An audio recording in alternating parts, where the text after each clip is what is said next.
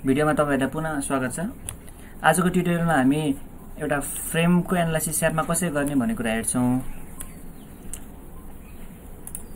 Suppose हामीसित हामीलाई दिएको frame structure यस्तो छ र यसलाई हामीले स्यापमा एनालाइसिस गर्नु छ भने सुरुमा हामी के गर्छौँ यो कम्प्लिट स्ट्रक्चर स्यापमा हुबहु उतार्छौँ है त? अनि त्यसमा हामी लोडिङ गर्छौँ र फाइनल यसको bending movement shear force diagram र सपोर्ट रिएक्सन्सहरू हेर्ने काम गर्छौँ। यसमा के छ भन्दाखेरि एबिबिसी सिई र सिडी भन्ने एउटा फ्रेमको मेम्बर्सहरू भयो। यसमा बिसीमा twenty five kilometre per metre UDL लागिरहेको छ। सिडीमा इन्क्लाइन लोड पनि लागिरहेको छ मुभमेन्ट पनि लागिरहेको छ र युभिएल पनि लागिरहेको छ। त्यस्तै गरी यो पोइन्टमा चाहिँ सेन्ट्रल किलोमिटर एक्सेसमा लागिरहेको छ। अब स्यापले लिने एक्सिसहरू कस्तो हुन्छ भन्दाखेरि स्यापले चाहिँ यो डिरेक्सनमा एक्स लिइरहेको हुन्छ यो डिरेक्सनमा वाइ लिइरहेको हुन्छ र यो एलिभेसनको रूपमा चाहिँ जेटलाई लिइरहेको हुन्छ। अब यही एक्सिसको आधारमा ओरिएन्टेसन यही एक्सिसको ओरिएन्टेसनको आधारमा हामी स्यापमा काम गर्छौँ। सुरुमा पहिले जस्तै अब यसलाई अर्कै विन्डोमा निकालौँ।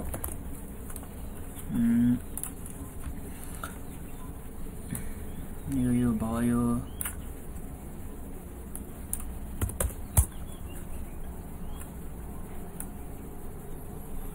यो भयो होइन? अब न्यू मोडल गर्ने पऱ्यो अब यसमा हाम्रो सबै लोडिङहरू किलोमिटरमै छ र स्पेसिङहरू मिटरमै छ त्यही भएर हाम्रो यो सिस्टम पनि किलोमिटर मिटरमै हुन्छ। यो पनि हामी ग्रिड टेम्प्लेटको आधारमा काम गर्छौँ। अब यो इन्टरफेसले चाहिँ ग्रिड लाइन्स र ग्रिड स्पेसिङ मागिरहेको छ। एक्समा हाम्रो ग्रिड कतिवटा छ भन्दा यहाँ एउटा यहाँ एउटा र यहाँ एउटा भनेपछि तिनवटा ग्रिड एक्समा चाहिएको छ हामीलाई।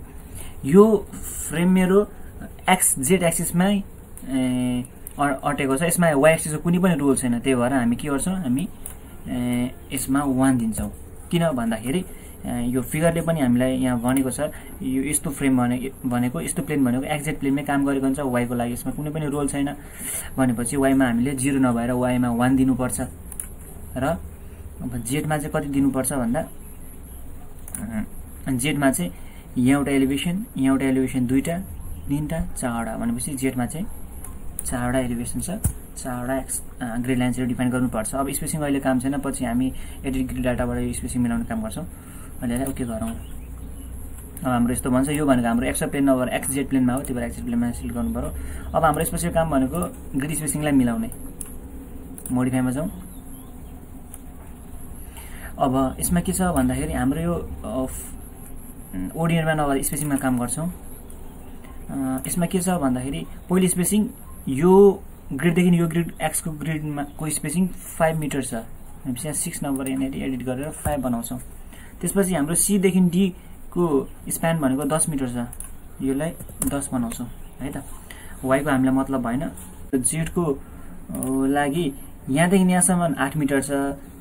सीको बीको रेस्पेक्टमा सीको एलिभेसन दुई मिटर छ। त्यस्तै गरी सिई आठ मिटर छ भनेपछि ए टूको स्पेसिङ पनि कति हुन्छ? भर्टिकल स्पेसिङ दुई मिटर हुन्छ भनेपछि पहिलो हाम्रो जेड एक्सिस दुई मिटरमै हुन्छ। त्यसपछि आठ बनाउनको लागि हामीले त्यसपछि छ मिटर राख्नुपर्छ। र जेड थ्री भनेको यो पनि दुई मिटरै हुन्छ। अब यतिलाई गरौँ। ओके गरौँ। अनि यहाँ पनि ओके गरौँ है त। भनेपछि हाम्रो स्पेसिङको आधारमा हाम्रो यो फ्रेमको लेआउट्सहरू बनिसकेको छ। अब हामी के गर्छौँ भन्दा यसमा स्ट्रक्चरल एलिमेन्ट्सहरू ड्र गर्ने काम गर्छौँ। यहाँ स्ट्रक्चरल स्ट्रेट फ्रेम हुनु पऱ्यो यहाँ कन्टिन्युस हुनु पऱ्यो। यति कुरा सेट गरिसकेपछि अब हाम्रो यो ए पोइन्टबाट पहिलो मेम्बर भनेको आठ मिटरमा छ। यहाँ लेन्थ पनि स्यापले अटोमेटिकली आठ भनेर देखाइरहेको छ। आठ मिटर भयो। होइन? अनि त्यसपछि यो भनेको एक्स एक्सिसको स्पेसिङ पाँच मिटर तर हाम्रो इन्क्लाइन छ। यो incline मेम्बरको five point three nine length भएको। जुन भनेको बिसी मेम्बर बन्न जान्छ। त्यसपछि तलपट्टि सिधै हाम्रो ई पोइन्ट आउँछ जुन भनेको आठ मिटरमा छ र यो पोर्सन हामी सिडी बनाउँछौँ जुनको लेन्थ भनेको दस मिटर छ र स्यापले पनि यसलाई दस मिटर देखाइरहेको छ भनेपछि हामीले दिएको इनपुटहरू स्पेसिङहरू ठिक छ। अब हाम्रो फ्रेम बनिसकेपछि के गर्छौँ भन्दाखेरि यसमा सपोर्ट रिएक्सनहरू हाल्ने हाल्ने काम गर्छौँ। त्यसको लागि यहाँ सिलेक्ट गरेर ग्रिड पोइन्टमा सिलेक्ट गर्ने एसाइनमा जाने जोइन्टमा जाने असाइनमा जाने जोइन्टमा जाने रिस्ट्रेन्टमा जाने। रिस्ट्रेन्टबाट पहिलो हाम्रो हिन्ज रियाक्सन छ। हिन्जमा सेलेक्ट गरेर अप्लाई गरेँ। त्यसपछि हाम्रो रोलर छ। रोलरमा सिलेक्ट गरेर अप्लाई गरेँ। त्यसपछि हाम्रो हिन्ज नै छ। फेरि हिन्जमै सिलेक्ट गरेर अप्लाई गरेँ। त्यसपछि हाम्रो सपोर्ट रिएक्सन्स पनि हामीले दियौँ। अहिलेको लागि यसलाई काम चाहिँ यसलाई कट गरिदिउँ। अब हाम्रो नेक्स्ट काम भनेको यसमा लोडिङ दिने काम हुन्छ। लोडिङ एबीबाट दिँदै जाउँ। यो मेरो भनेको मेरो एबी मेम्बरको त्यसलाई सिलेक्ट गरेर असाइनमा गएँ फ्रेम लोडमा गएँ। यो पोइन्ट लोड हुनको कारणले गर्दा पोइन्टमै जान्छु म। अब यसमा डेड नै हुन्छ ग्लोबल नै हुन्छ। यो भनेको मेरो कुन एक्सिस हो? एक्स एक्सिसमा लागिरहेछ। फोर्स नै हो। एब्सोल्युटमा जाउँ। एब्सोल्युट डिस्टेन्स भनेको तिन मिटरमा कति लोड लागिरहेछ? सेभेन्टी फाइभ किलोमिटर लागिरहेको छ। तर यो त मेरो यो डिरेक्सनमा लागिरहेको छ भनेपछि यो मेरो नेगेटिभ एक्स डिरेक्सन हो। भनेपछि म लोडमा नेगेटिभ सेभेन्टी फाइभ दिन्छु। ओके गर्छु ओके गर्छु ल। यहाँनिर यहाँ ए पोइन्टबाट तिन मिटरमा सेभेन्टी फाइभ किलोमिटर लागिरहेको छ नेगेटिभ एक्समा त्यस्तै गरी अब यो एक्सिसमा जाँदा यो अब मेम्बर बिसीमा मैले लोडिङ दिनुपर्ने छ कति twenty five kilometre per metre दिनुपर्ने छ त्यहाँ सेट गरेर म असाइनमा जान्छु। यो युडिएल भएको कारणले गर्दा फ्रेममा गएर पोइन्टमा नगएर डिस्ट्रिब्युटमा जान्छु। है त? यसमा म के गर्छु? Twenty five kilometre per metre अघि हामीले सेट गरेको सिस्टमको आधारमा यहाँ किलोमिटर पर मिटर आइसकेको छ। अब यो मेमोरा मैले लोड आएको थिइनँ त्यही भएर यसमा एड गरे पनि रिप्लेस गरे पनि केही फरक त पर्दैन अहिलेको लागि मैले एड गरिदिएँ। भनेपछि एप्लाई गरेँ ओके गरेँ भने चाहिँ twenty five kilometre per metre देखायो है त। अब के गर्छु म भन्दाखेरि अब त्यसपछि मेरो आएको लोडिङ भनेको टेन किलोमिटर। जुन भनेको incline load at an angle forty five degree with X axis अब स्यापले सिधै यहाँनिर इन्क्लाइन बनाएर फोर्टी फाइभ डिग्रीमा इन्क्लाइन भएर टेन डिग्री हाल्न दिँदैन। के गर्नुपर्छ? हामीले यसलाई होरिजेन्टल र भर्टिकल कम्पोनेन्टको आधारमा रिजल्भ गर्नुपर्ने हुन्छ। यो टेन किलोमिटरलाई रिजल्भ गर्दाखेरि ए नेगेटिभ एक्समा सर्टिन फोर्स आउँछ र पोजिटिभ एक्समा सर्टिन फोर्स आउँछ। अब रिजल्ट गर्दा कति हुन्छ भन्दाखेरि क्यालकुलेटरबाट टेन साइन फोर्टी फाइभ भनेको सेभेन पोइन्ट जिरो सेभेन जुन भनेको टेन कस फोर्टी फाइभ नै हुन जान्छ। भनेपछि बेला हामीले यहाँनिर इनपुट गर्नुपर्ने हुन्छ। अब यो मेम्बर सिलेक्ट गरौँ यसको लेन्थ भनेको कति हो भन्दाखेरि यो सिलेक्ट गरेर राइट क्लिक गऱ्यो भने यहाँनिर लोकेसनबाट लेन्थ आउँछ three point uh five point three nine भनेर यसको लेन्थ भयो हामीलाई। मैले त्यहाँ सिलेक्ट गरेँ एसएनमा गएँ फ्रेममा गएँ पोइन्ट लोड हो नि त पोइन्ट लोडमा गएँ। अब एडै गरिदिउँ। एड नै गर्नुपर्छ। त्यसपछि के हुन्छ भन्दाखेरि एक्समा फाइभ पोइन्ट थ्री नाइनको डिस्टेन्समा negative seven seven point zero seven है त? यति गरिसकेपछि मैले अप्लाई गरेँ। त्यस्तै गरी यही बिममा अब अर्को चाहिँ ग्राभिटी डिरेक्सनमा हुन्छ।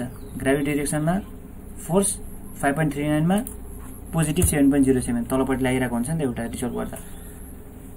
भनेपछि ग्राभिटी डिरेक्सनमा अप्लाई गरेँ। ओके गरेँ। अन्त हाम्रो यो पोइन्टको इन्क्लाइन लोडलाई रिजल्ट पनि गरेर अर्को लोडिङ आयो। जुन ओरिजिनल र ग्राभिटी डिरेक्सनमा रिजल्ट भएका छन्। अब हाम्रो यसपछि अर्को लोडिङ भनेको सीबाट चार मिटरमा एक सय पचास किलोमिटर मिटर भन्ने मुभमेन्ट लागिरहेको छ। भनेपछि त्यो यो बिममा लाग्छ यो सिस्टममा लाग्छ भनेपछि त्यहाँ सेलेक्ट गरेर असाइनमा गएँ फ्रेम लोड भए। मुभमेन्टको लागि पोइन्ट लोड नै हुन्छ। अब एटु द एडिसनल लोडलाई ठिक छ। अरू सबै त यो लो डिरेक्सन मुभमेन्टको लागि जहिले पनि वाइ हुन्छ र फोर्स टाइप मोमेन्ट हुन्छ। एब्सोल्युट डिस्टेन्स कतिमा? चार मिटरमा। भ्यालु कति छ? एक सय पचास। अब स्यापले बाई डिफल्ट लो डिरेक्सन वाइमा लिएको हुन्छ र एन्टी क्लकलाई पोजिटिभ लिइरहेको हुन्छ। तर यो मेरो केसमा के छ? क्लकवाइज छ नि त एक सय पचास। भनेपछि मैले यहाँनिर नेगेटिभ एक सय पचास दिनुपर्ने हुन्छ ताकि यसले एक सय पचास क्लकवाइजमा लगाइदियोस्। यति गरिसकेपछि एप्लाई गर्छु ओके गर्छु। अब यहाँ नदेखे पनि यो भ्यालुहरू अटोमेटिकली यहाँनिर इनपुट भइसकेको छ भनेर हामीले बुझ्नुपर्ने हुन्छ। हाम्रो अर्को काम भनेको के हो? भन्दाखेरि युभिएल लगाउने। युभिएल लगाउनको लागि त्यो बिम सेलेक्ट गरेँ फ्रेम रोडमा गएँ डिस्ट्रिब्युटेडमा गएँ। एटो एक्जिस्टेन्सलाई ठिक छ? यो ग्राभिटी डिरेक्सनमै हुन्छ फोर्स नै हो। अब युबिआर कसरी लाउने भन्दाखेरि एक्सिकोस टु फाइभ मिटरमा भ्यालु जिरो छ। एक्सिकोस टु टेन मिटरमा भ्यालु ट्वेन्टी छ। एब्सोल्युटमा गएर। एक्सिकोस टु फाइभ मिटरमा भ्यालु जिरो छ। एक्सिकोस टु टेन मिटरमा गएर भ्यालु ट्वेन्टी छ। युनिफर्म लोडिङमा जिरो गरौँ। जिरो गरौँ र फाइभमा जिरो टेनमा ट्वेन्टी गरेपछि युबिएलको रूपमा एड गर्छ यसले। ल यसले युबिएलको रूपमा एड एड पनि गऱ्यौँ यहाँ मोमेन्ट पनि लागिसक्यो। हामीले रिजल्ट पनि गऱ्यौँ। भनेपछि हाम्रो सम्पूर्ण लोडिङहरू सकिसकेको छ अब यसपछि हाम्रो काम भनेको के हो भन्दाखेरि हाम्रो काम भनेको यसलाई एनालाइसिस मात्रै गर्ने हो। एनालाइसिसको लागि र एनालाइसिसमा जानु पऱ्यो र के गर्यो? यसलाई कुनै नाम नाम दिउँ फ्रेम भनेर अब यसलाई एक्समेज गरौँ र बाई डिफल्ट यसले डिफर्म सेप देखियो। भन्नुको अर्थ त्यस्तो लोडिङ लगाएपछि त्यो मेमोरिजहरू यसरी डिफर्म हुँदो रहेछन् र अब हामीलाई सेयरफोर्स हेर्न मन छ भने यहाँ जानु पऱ्यो सेयरफोर्स सेयर टु टूले दिन्छ एप्लाई गरिन्छ। अब यसले सेयरफोर्स दियो। भ्यालु पनि हेर्नको लागि सो भ्यालुजमा जानुपर्छ। ओके गरियो? यसले सेयरफोर्सको भ्यालुहरू पनि दियो। त्यस्तै गरी बेन्डिङ मोमेन्ट हेर्नु छ भने कहाँ जान्छु म? म डिस्प्लेमा गएर सो फोर्स स्टेसमा गएर फिल्म केबल टेनमा जान्छु। र बेन्डिङ मोमेन्ट जहिले पनि मोमेन्ट थ्री थ्रीमा देखिन्छ। अप्लाई गर्छु। ओके गर्छु। है त? भनेपछि यो मेरो बेन्डिङ मुभमेन्ट भइदियो। अब मलाई इन्डिभिजुअल मेम्बरको स्टडी गर्नु छ भने त्यहाँनिर सिलेक्ट गरेर राइट क्लिक गरेर यसरी पनि हेर्न सक्छु। यसमा सो म्याक्सिमम भ्यालुज भन्नुको अर्थ प्रत्येक रिजल्टेन्सियर रिजल्टेन्ट मुभमेन्ट डिफ्लेक्सनको म्याक्सिमम भ्यालुजहरू दिइरहेको छ र मैले स्क्रोल फर भ्यालुज गरेँ भने म मलाई चाहिने एक्सको डिरेक्सन एक्सको डिरेक्सनमा यसरी स्क्रोल गर्दै भ्यालुहरू पनि हेर्न सक्छु। ल यति गरिसकेपछि फ्रेमको एनालाइसिस पनि स्यापमा भयो।